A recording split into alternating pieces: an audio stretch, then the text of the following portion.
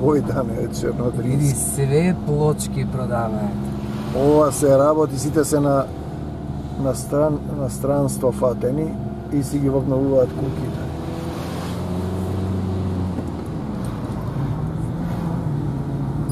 Ај се овој застапне. Извините, брод Брод. право. Ма право рече, знае, се неќе да го снимаш. Измешани, дали сме срби, дали сме... За брод, Право. да, право? Фала, да се Само право? А, само право, не Само право, пут. Аха, добро, фала, благодарим. Извинете, брод, Сам право. право. Сам Само право. право, Океј, сам фала, да се Да, живи. далеко е колку километри има? Па 20 км. Мај, Ај, фала, добро. Сам право. Има знак. Не, не е 20, не знаат овие. Овие се у странство живеат изгледа бала. Извинете, Добар Бој- ден, Бојда, каде живее Бојда? Исмаил Бојда. Исмаил Бојда, стварно не знаем каде живе, али може да оде во центар во Селониче. А ке седнеме, Ајде, има ајде. нешто за седнување? Има и кафане, има. Ајде, ќе одиме тоа, таму. добро. Ајде. По вас ќе одиме. Ќе го најдеме првен Бојда. Да не е непријатно. Не беше што се секираш. Се ќе му отпуштам телефонот. Ши српски зборат, и српски учат во Не бе, не школа. добро кажа. Во школа учат српски.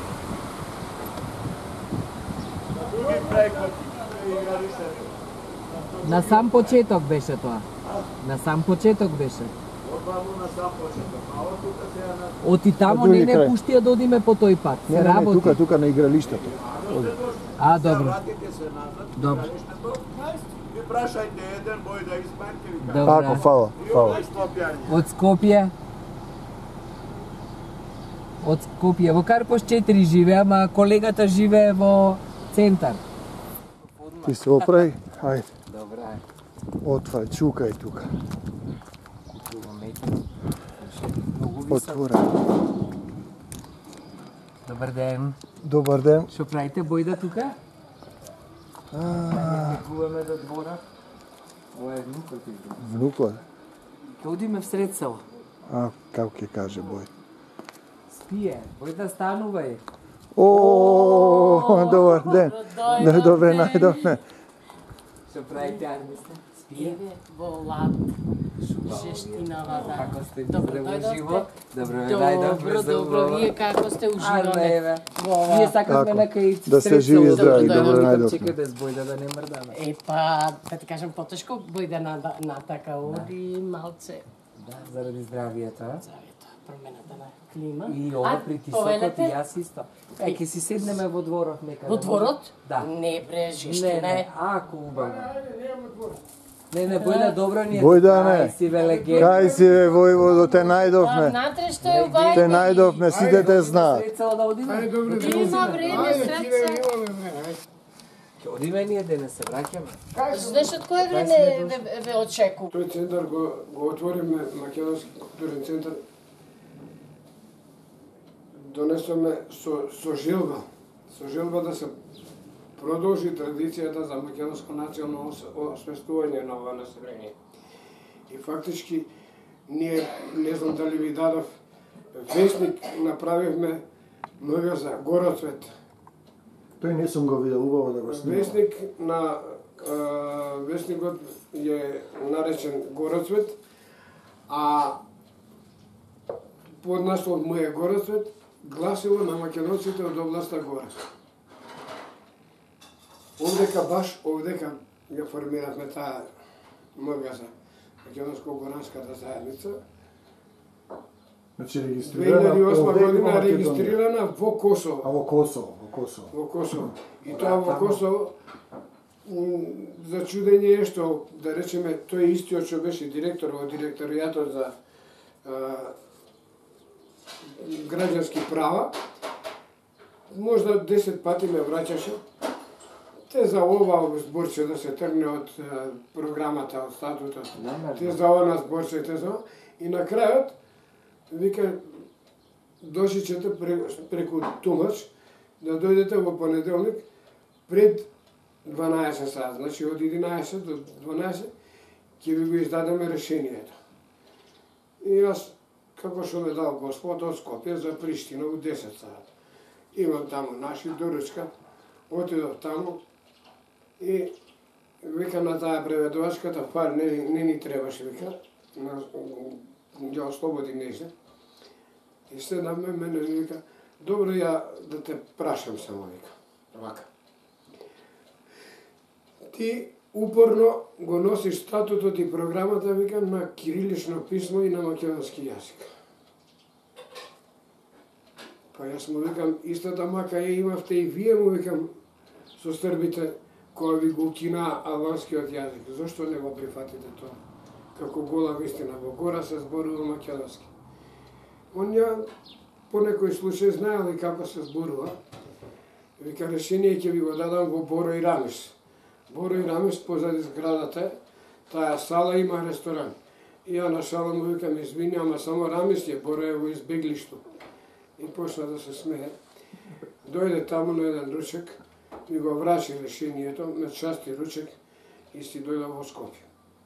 И од тогаш ја направивме оваа канцеларија Македонско-Горанска заедница овде во Косово.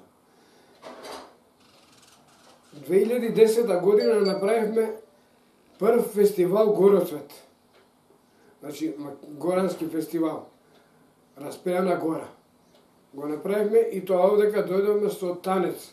Друштвото играше баш на стадионот на на ова речи го на стативата беше направено паното МГ за Македонско-Горанска заедница, прв фестивал на македонците во областа Гора во Косово. И дојдовме до пети фестивал, додека не дојдоа овие на власт.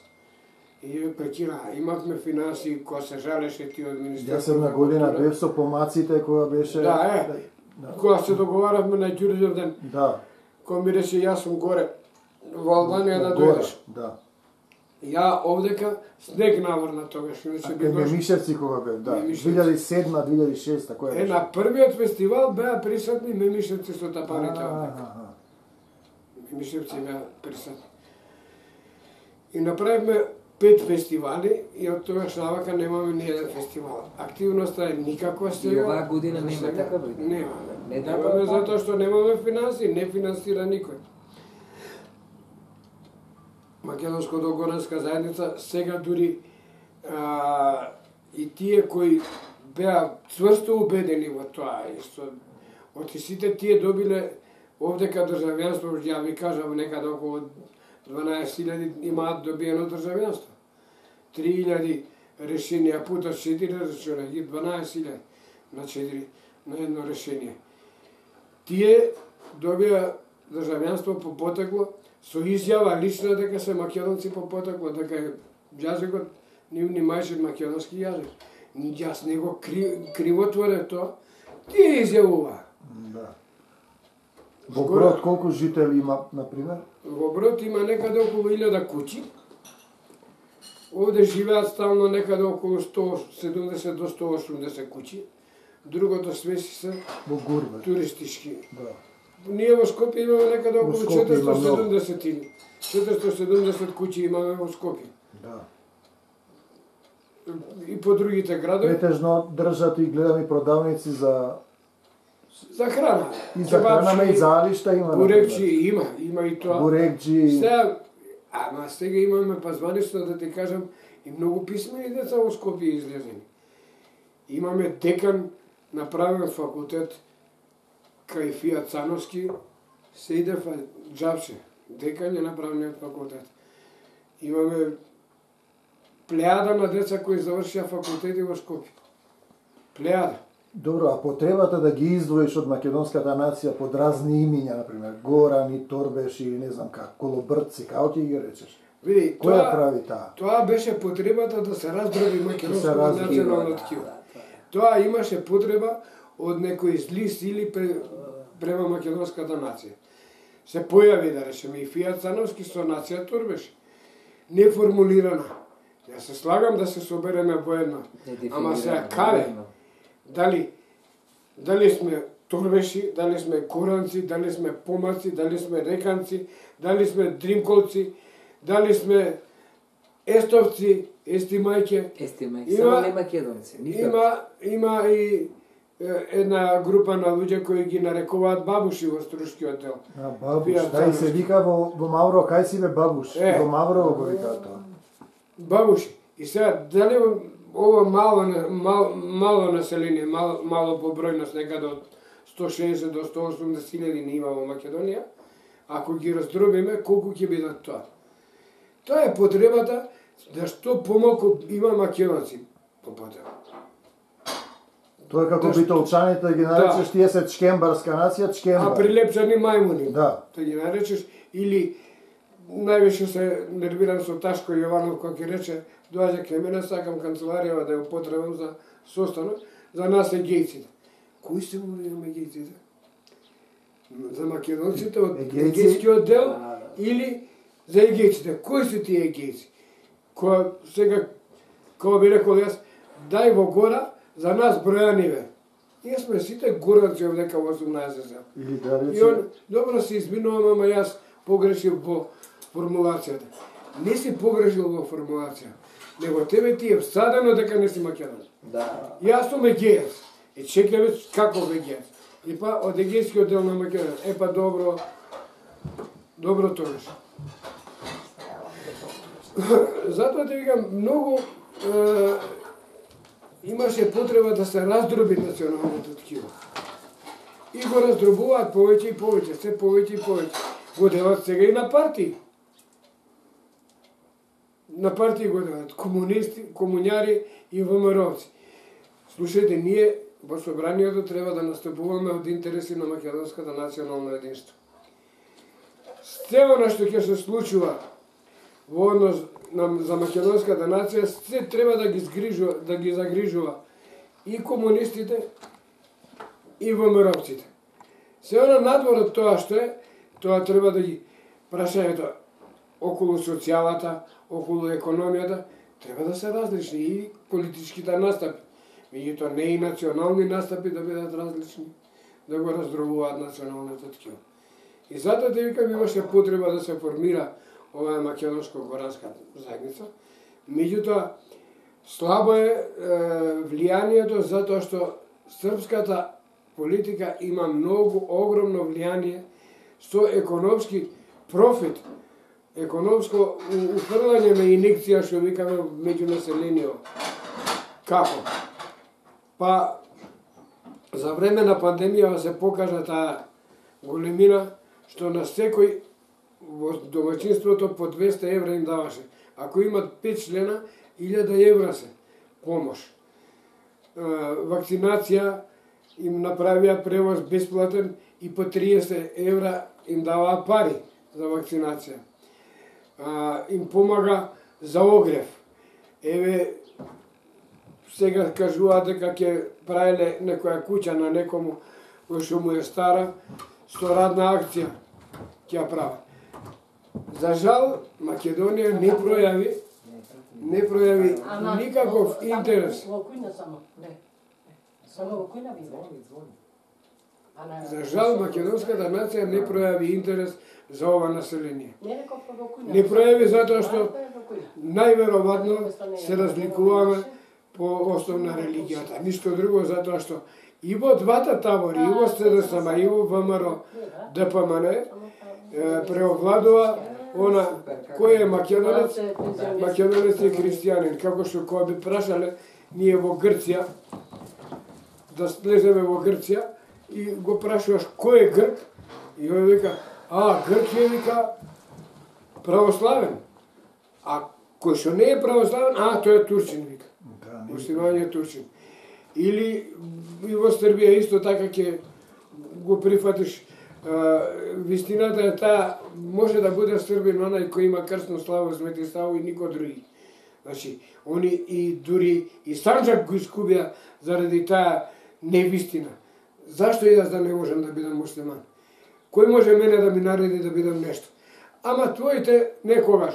Јас се извинувам, јас сум роден ваков како што сум и сум живеал во таква средина од родителите ми биле муслимани. И на моите родители муслимани им биле.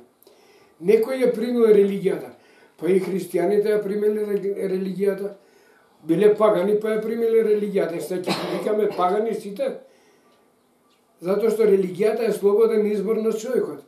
Ја највише ми, ми се допадна она која ВМРО се откажа од Трајковски која рече е, не сме знаеле дека не е православен христијанин, Исто како не. дека е протестант. И ја тогаш му реков баш на Лјупчо Георгиевски, еве ќе се кандидирам за председател како Бојде Исман. Ќе гласаш ли ти? Знаејќи ме мене дека сум муслим, дека сум македонец. И не би гласал. Не би се ни дрзнал да гласам. Значи, се во посвеста не дели религијата. Религијата е главното тркава што го раздвижува овој национален склоп. Ние бевме во Бугарија, во Кошен, видовме старата жена, аз сам македонка, викам, а муслиманка, кај Дамјан и овој Искренови. И зашто сега, сега, дури Стинко вика, овде во Българија беше многу потешко. На три пати ни ги менуваа имињата и на крај и на гробиштата ни ги сменија, на надгробните плочи имињата им ги сменија. Заради тоа, заради престижот на религијата. Е, која е сега таа религија мене да ме одвои од македонското национално ткиво? Која е таа религија? Меѓутоа, ако идеме до Дедо Стефан, он знае све. Јас сум разговарал со него. Само Македонската православна црква се јавува Тимотеј. И вика, ние таму се шиптари. И сега му викам, чекај, ти Деварско-Кичевска митрополија држиш? Грото на тие луѓе кои што ја со- сочинува се македонци муслимани.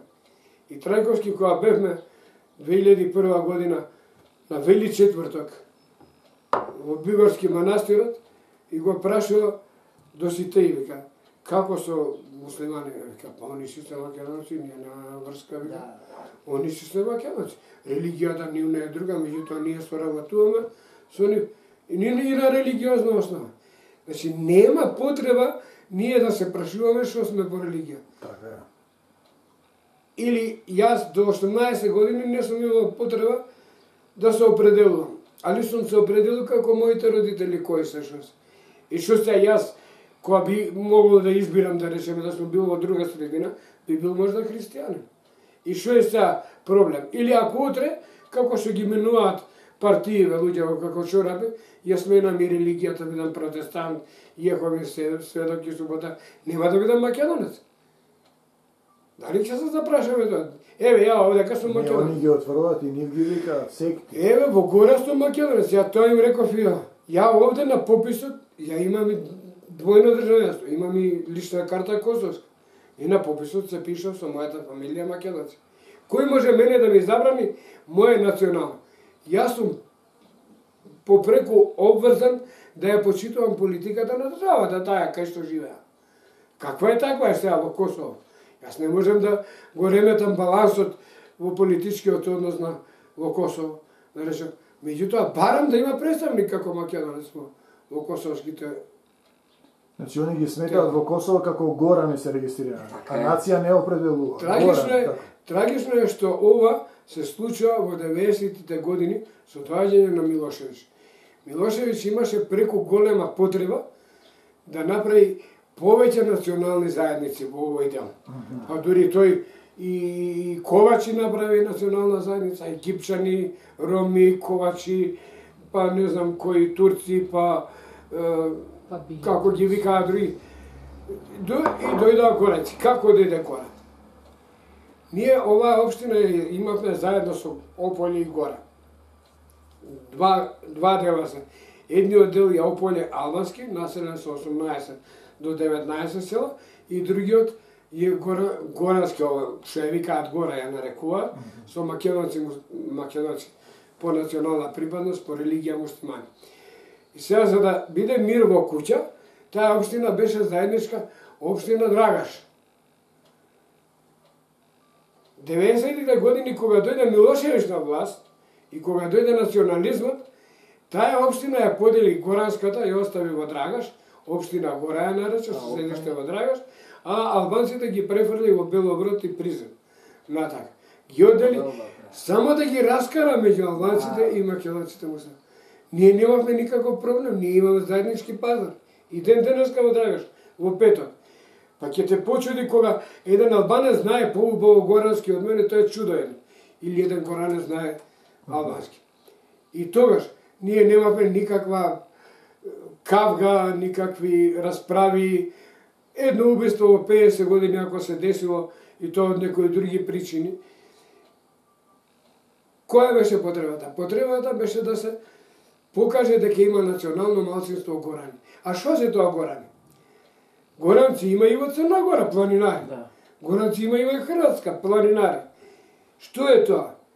Сега ќе ги нарекуваме по областа како што се вика гора. И Васил Стереовски од Горна Горица. Горна Горица, Горанец и да. тоа. И тој е гора. И тој е Горанец. Фактички по ова.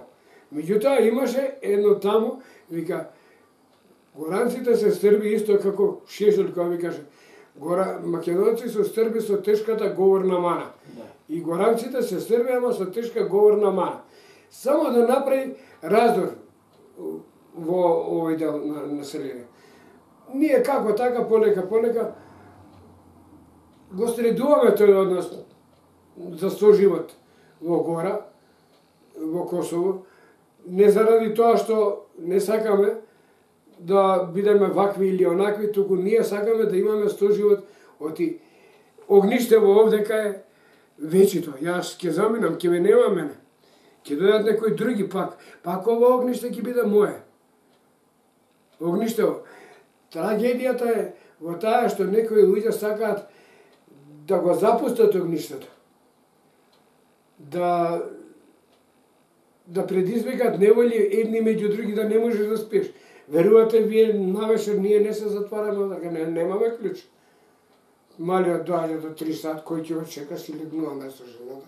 Нема клjuč, нема Нема ништо. да. Немаме бир, имаме, имаме има. што живот и стока и што.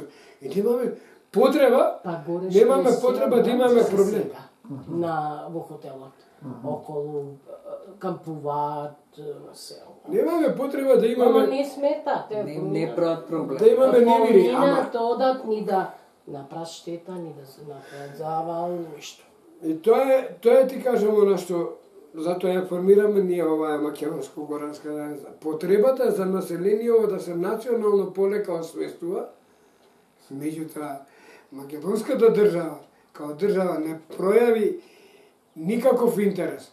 Можете да замислите 2002 година го пушти правото на издавање на државјанство по потекло, каде што од 93-та фигурира, ако со вас разговарав, имаше во она правилникот за граѓански права, стекнување на граѓански права, член 11 по потекло македонец. И во него беше формулирано многу добро. Македонец може да се стекне со државјанство македонско со доказ дека е по потекло од Македонија или македонец по потекло. Ма да и да е во Австралија и да не го знае македонскиот јазик, ако има по потекло македонско, баба, дедо, татко, може да се стекне со државјанство. И тоа функционираше до 2002 година. Се го укина. Е 2000, ама тоа не го пуштија во промет тогаш. Да. Државенството и ние на Уставен суд добивме 2001 година да почне да се издава државенство по потекло македонци. И тогаш гора се стегнаа горанците, дури и јас во Македонија немав Да, државенство. се стекна со државјанство, така. Дури и јас немав лично македонско државенство, го земав државенството по член 49 со 50 долари. И на една моја изјава во А1 беше телевизија тогаш интересна, викам, јас сум поскап македонец од Киро Глигоров, 2003 година. Вика, чеке бе, зашто си ти поскап македонец? Па ја платив 50 долари, а Киро Глигоров не беше 50 години во Македонија, уште можда не ги дал ни тие 50 денари таксени марки. Му го дали државенството. И која беше логиката? Јас дека сум роден на Шапланина, од оваа страна. Еве, сега Шапланина е национален парк. А добро, Киро Глигоров беше одјавен од Штип, пријавен во Белград, имаше белградска лична карта, ја имав скопска лична карта. Што е сега разликата јас да не добивам државенство? Ама ти, па да ти ги вратиме 50 долари. Абе, не е за мене, јас имам сум дал. Има луѓе кои што треба да се стекнат правилно со државјанство. И ден денеска има луѓе кои тоа им го ускратија правото со подадени документи. Дури и го сменија членот 11, го преформулира. Како го преформулира? 2002 година, 15 септември, кога победи Заев, ова Бранко Црвенковски, не можеше да формира влада со, со албанскиве партии. Едина пречка му беше да го смени членот 11 по потегло да се издаваат државјанство. Оти ако продолжеше да се издава државјанство по членот 11 во Република Турција, во Република Албанија, во Република. Бугарија, албанците ќе беа во Македонија 10%, 10%. како што и се. Нивната рачу... И прв услов му беше... Они он да им Да, државјанство. прв услов му беше на Али Ахмети Бранко Црвенковски да го прекине издавањето на државјанство. Верувате или не верувате?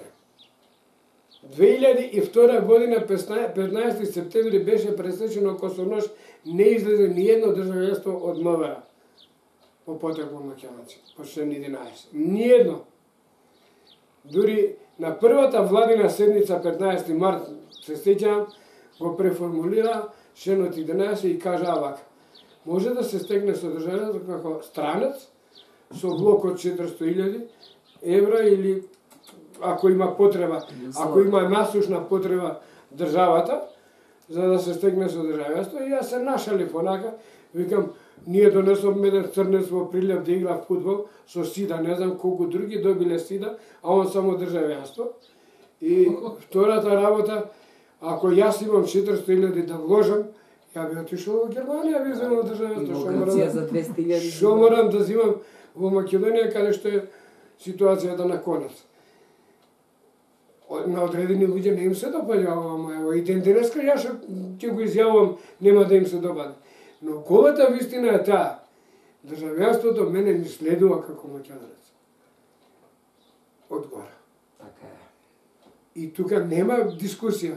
Ама не може државата да се откажува од својот народ. Таа е мајка на народите. Сме правиле За жал, за жал сите ние ова го збориме вака. Не може. Ама овие се не откажуваат. И од Пиринска Македонија кажат зошто немам државјанство? Од Албанија тихо сакаме пасош и државјанство. Од Турција македонци од Мениса сакаме државјанство. И не им зошто не дава? Ние дури во канцеларијата наша имаме некаде околу 40.000 подписи за да се врати Тој е закон. членот 11. Да се врати во Октеку. Во собрание уште не е поставено ниту на седница тоа прашање. А некне слушам дека ќе се издавало со тројца сведоци државјанство. Да, го- и го 94 помина, помина законот. Помена. И, и 94 година така издадоа 118.000 државјанства со услов да заврши пописот, им ги издадоа со студенти ноќе државјанства. Јас не се љутам. Тие живееле во Македонија, нека се тога. Него јас зашто да не можам да дојдам? Зашто да не можам да се стекнам? Зашто да го компли, комплицираме издавањето на државјанство ако сум лојален граѓанин на државата, ако плаќам порез, прирез или или ако ете крај крајва и го имам машиниот македонски јазик. Ајде не. Зашто да нема државјанство? Сега се праш, ќе се прашат во селово, абе ние дадовме пред 5 години или пред 7 години немаме одговор. Одговор што се Исто. случува за издавање на државјанство. Сингартиски кажува, дошол во Скопје, одишол секој 7 дена доаѓал, стоја со моето државјанство, стоја со мојот пасош, ништо не му го давале. И најдов вика врска, човек што со зет му соработува, Турчин му рекол, да, тоа би му завршил работа. Значи, вика, не можам да добијам државјанство, не ми даваат пасош да го продолжи. Сингартиски. Да, да. На оба Илинда на почесниот Абе, председател. тие државјанства ние 2001 година не дадовме само во Гора Косово, ние одавме и во Бугарија, Јас се носев за, од, од Измир носев јас од, Барања. од Брод Барања кога бевме на фестивалот донесов 5-6 барања тогаш со Аце, со Тодор ниф ви ги давав на конгресот. Да, да. да ги предадат за државјанство.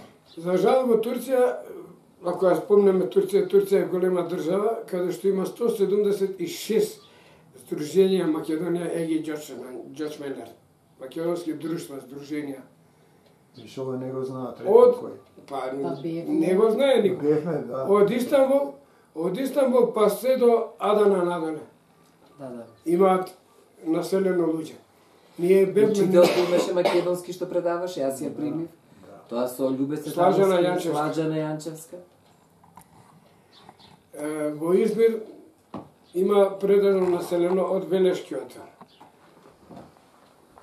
Во сите скоро делови има македонци.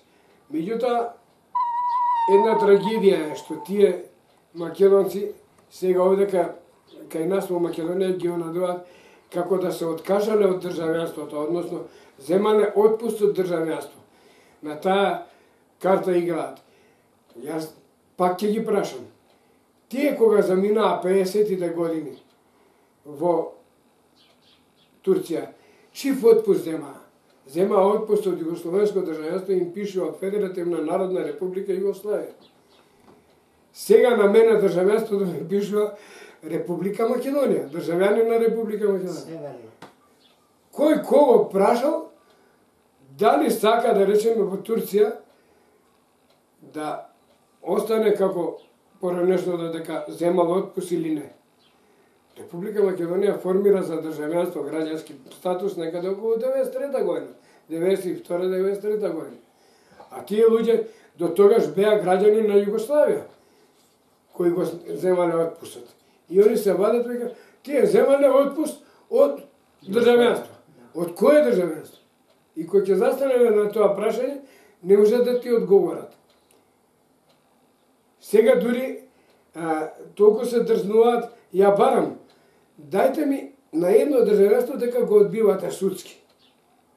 За да можеме во, на Европскиот човек, судот за човекови права да бараме да се исправи оваа грешка. И тоа, значи, под мок на администрација нема одговор. Нема одговор, ама до кога? Нема одговор, ама до кога? Еве сте, викаме, ние, е, како сопругата што спомна Северна Македонија, тие оставаат сега еден жежок костен во рацете на децава наши, на идниве генерации. Што ако утре некои деца македонци речат каде е Јужна Македонија, каде е Источна, каде е Западна? Зошто се играат со чувствата? Не може вечно во Европа да обстои вака како што е Европска Унија, еве ќе влеземе, никогаш нема да влеземе во Европска Унија заради овие вакви работи што се случуваат. Некој да се дрзне да промени устав, да промени име, да промени дури сега и јазикот да го снема и идентитетот. Па чекај бе, имаат генерации кои што ќе рече чекајте бе, што правиле овие наши? Па и ќе не откопуваат од гробовите бе. Чекај бе, што си прават ти? Кај си ти, што е работава со тебе? И ние не сакаме да се свестиме дека и после мене некој мора да дојде. Не можеме ние вечно такви сме какви сме. Има некој што ќе дојде, некој живеело дека ја, што им викам во село. Е, пред нас колку луѓе живееле, колку ореле, колку еве сега ни дури и не косиме. Нема косење, нема стока, нема ништо. И сега сите рацете сме ги пуштиле надоле, сме ги обесиле на работа. За ова село се ранело со нивни плодови. селе орале, копале, комбири имало да се продава сега комбир. Ако не донесеш од комбир, не можеш да купиш одека комбир. Брега. Тоа е она јавно така се уништува народот. Така се не не забе рекол кинезот века не му давај риба прзена бе, дај му трска. Ако фати нека јаде, ако не фати нема јадење, што се? Ако не знае да фати. Така е. Тоа е проблемот. Поготово во Македонија, во нашава нација, во нашава популација. Се ние сакаме да имаме готово. Е, ќе ни даде Европа. Зашто Европа да? Која е таа Европа што може да ни даде?